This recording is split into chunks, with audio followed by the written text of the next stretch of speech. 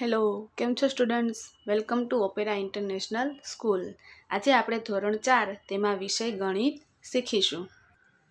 જુઓ, પ્રશ્ન ત્રણ, નીચે આપેલી વસ્તુઓમાં સૌથી ભારે વસ્તુ પર ગોળ અને સૌથી હલકી ઉપર ચોરસ કરો. શું આપેલું છે? અહીં આપણને આ પ્રકરણ બારનો પ્રશ્ન ત્રણ આપેલો છે. નીચે આપેલી વસ્તુઓમાં સૌથી ભારે વસ્તુ ઉપર ગોળ અને સૌથી હલકી વસ્તુ ઉપર ચોરસ કરો. તો અહીંયા આપણને ત્રણ ત્રણ વસ્તુ આપેલી છે. ત્રણ વસ્તુમાંથી જે સૌથી ભારે છે તેની ઉપર આપણે ગોળ કરવાનું છે અને જે સૌથી હલકી છે તેની ઉપર ચોરસ કરવાનું છે. તો પહેલું આપેલું છે પેન્સિલ, પુસ્તક અને સ્કૂલ બેગ. કઈ કઈ વસ્તુ છે? પેન્સિલ, પુસ્તક અને સ્કૂલ બેગ. તો વિચારો જોઈએ કે આ ત્રણમાંથી સૌથી ભારે શું છે? તો કે સ્કૂલ બેગ. તો આપણે સ્કૂલ બેગ ઉપર રાઉન્ડ કરીશું. અને સૌથી હલકું કયું છે? હલકું એટલે કે સૌથી ઓછો વજન. સૌથી ઓછો વજન કોનો છે? પેન્સિલનો. તો પેન્સિલ ઉપર આપણે ચોરસ કરીશું. આવડી ગયું? એ જ પ્રમાણે બીજું. પાણીની બોટલ, ટેબલ અને પલંગ. કઈ કઈ વસ્તુ આપી છે? પાણીની બોટલ, ટેબલ અને પલંગ. તો આ ત્રણમાંથી સૌથી ભારે વસ્તુ કઈ છે? તો પલંગ. તો પલંગ ઉપર રાઉન્ડ કરીશું અને સૌથી હલકી વસ્તુ કઈ છે? તો કે પાણીની બોટલ. આ ત્રણમાંથી સૌથી હલકી, એટલે કે સૌથી ઓછો વજન કોનો છે? તો કે પાણીની બોટલનો. તો એની ઉપર આપણે ચોરસ કરીશું. સમજાય છે?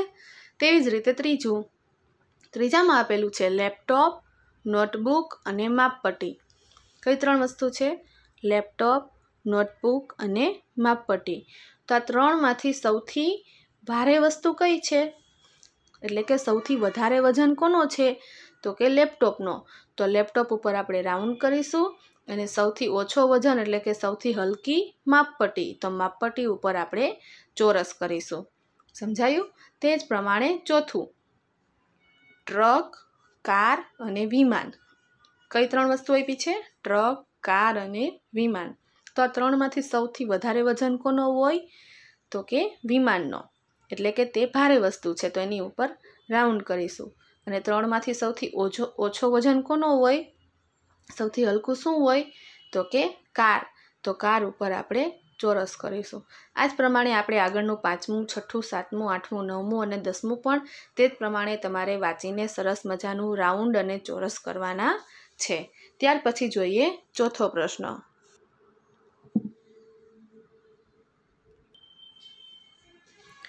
ચોથું આપેલું છે ખાલી જગ્યા પૂરો. શું કરવાનું છે? ખાલી જગ્યા પૂરવાની છે. તેમાં પહેલું છે એક કિલોગ્રામ. એક કિલોગ્રામ બરાબર ખાલી જગ્યા ગ્રામ. તો એક કિલોગ્રામ બરાબર કેટલા ગ્રામ થશે? એક હજાર ગ્રામ. પછી અડધો કિલોગ્રામ. એક કિલોગ્રામ બરાબર એક હજાર ગ્રામ. તો અડધો કિલોગ્રામ બરાબર ખાલી જગ્યા ગ્રામ. તો કેટલા ગ્રામ થાય? એક હજારના અડધા પાંચસો. તો અડધો કિલોગ્રામ બરાબર પાંચસો ગ્રામ. હવે એક કિલોગ્રામ બરાબર પાંચ ગુણ્યા ખાલી જગ્યા બરાબર ગ્રામ. તો એક કિલોગ્રામ બરાબર આપણને ખબર છે કે એક કિલોગ્રામ બરાબર એક હજાર ગ્રામ થાય. તો આપણે એક હજાર ગ્રામ કરવા હારું, કરવા માટે પાંચને કેટલા સાથે ગુણીએ? તો એક હજાર થાય. તો આપણે પાંચને બસો સાથે ગુણીશું. બસો સાથે પાંચનો ગુણાકાર કરીએ, એટલે બસો ગુણ્યા પાંચ બરાબર એક હજાર ગ્રામ થઈ જાય, એટલે કે એક કિલોગ્રામ. તો આપણે પાંચ ગુણ્યા બસો લખીશું. ત્યાર પછી આપેલું છે પાંચ કિલોગ્રામ બરાબર ખાલી જગ્યા ગ્રામ. તો પાંચ કિલોગ્રામ બરાબર કેટલા ગ્રામ થશે? હમ, પાંચ હજાર ગ્રામ. કેટલા ગ્રામ થાય? પાંચ હજાર ગ્રામ. અહીં આપણને એક કિલોગ્રામ બરાબર એક હજાર ગ્રામ આપેલું છે. તો પાંચ કિલોગ્રામ બરાબર પાંચ હજાર ગ્રામ. ત્યાર પછી પાંચમું, ત્રણ કિલોગ્રામ બરાબર ત્રણ ગુણ્યા ખાલી જગ્યા ગ્રામ.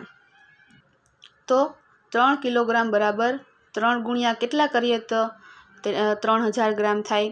તો ત્રણ ગુણ્યા એક હજાર. ત્રણ ગુણ્યા એક હજાર કરીએ એટલે ત્રણ હજાર ગ્રામ થઈ જાય. ત્રણ હજાર ગ્રામ એટલે કે ત્રણ કિલોગ્રામ. તો અહીંયા આપણે ત્રણ ગુણ્યા એક હજાર લખીશું. ત્યાર પછી સાત કિલોગ્રામ બરાબર ખાલી જગ્યા ગ્રામ. તો આ તો આવડે જ આપણને. અહીંયા એક કિલોગ્રામ બરાબર એક હજાર ગ્રામ. પાંચ કિલોગ્રામ બરાબર પાંચ હજાર ગ્રામ. તો સાત કિલોગ્રામ બરાબર સાત હજાર ગ્રામ. પછી છે આઠ કિલોગ્રામ બરાબર ચાર ગુણ્યા ખાલી જગ્યા ગ્રામ. હવે વિચારવાનું કે સાત કિલોગ્રામ બરાબર સાત હજાર, તો આઠ કિલોગ્રામ બરાબર આઠ હજાર ગ્રામ થાય. તો ચારને આપણે કેટલા સાથે ગુણીએ તો આઠ હજાર થાય. તો ચાર ગુણ્યા આપણે બે હજાર લખવું પડે. તો થાય ને બે હજાર ગુણ્યા ચાર એટલે કે આઠ હજાર. એટલે અહીંયા આપણે બે હજાર લખવાનું થશે. એટલે બે હજાર ગુણ્યા ચાર બરાબર આઠ હજાર ગ્રામ. અને આઠ હજાર ગ્રામ બરાબર આઠ કિલોગ્રામ. સમજાય છે? ત્યાર પછી આઠમું છે, દસ કિલોગ્રામ અને એક હજાર ગ્રામમાંથી ખાલી જગ્યા ભારે છે. જુઓ, દસ કિલોગ્રામ. કેટલું છે અહીંયા? દસ કિલોગ્રામ અને અહીંયા આપેલું છે એક હજાર ગ્રામ. તો મેં તમને આગળ પણ કીધું હતું કે વજનનો મોટો એકમ શું છે? કિલોગ્રામ છે અને નાનો એકમ શું છે? ગ્રામ. દસ કિલોગ્રામ બરાબર કેટલા ગ્રામ થાય?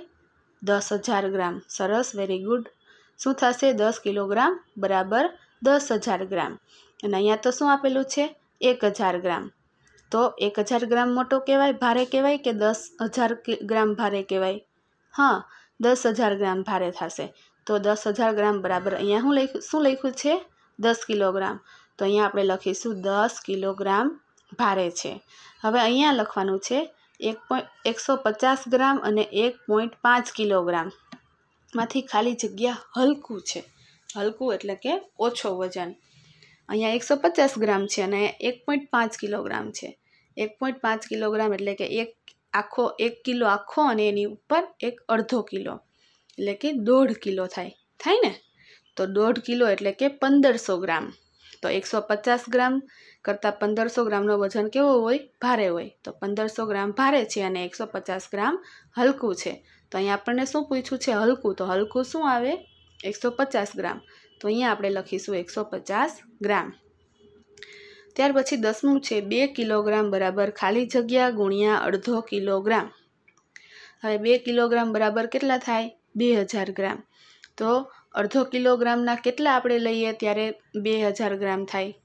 હા, તો અડધો અડધો કિલોના આપણે ચાર વજનિયા લઈએ ત્યારે બે હજાર ગ્રામ થાય ને? તો આપણે અહીંયા શું લખીશું? ચાર. સમજાઈ ગયું? આ પ્રમાણે આપણે દરેક ખાલી જગ્યા વ્યવસ્થિત વિચારીને ગણતરી કરીને લખવાની છે. Okay thank you